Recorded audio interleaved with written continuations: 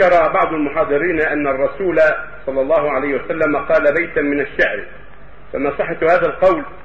و... هذا البيت صحيح. أيوه. بس بس قول الشيخ يغني به لو سأل بدالة قال بيتا من الشعر.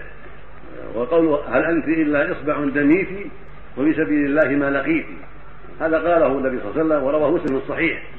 رواه مسلم في صحيحه لما أصابت نكبة في إصبعه ودميت قال هذا الشعر عليه الصلاة والسلام. قال بعضهم ولم يحفظ له بيت من الشعر سوى هذا البيت لأن الله قال وما علمناه الشعر وما ينبغي له. فقال بعض المحدثين إنه لا يحفظ له بيت من الشعر مستقيم إلا هذا البيت الواحد هل أنت إلا إصبع دميتي وفي سبيل الله ما لقيت؟ يعني هذا قال ذلك يظهر صبره واحتسابه عليه الصلاة والسلام وأن هذا في سبيل الله فلا بأس عليك أيها الإصبع ولا يضرك ذلك وهذا في سبيل الله.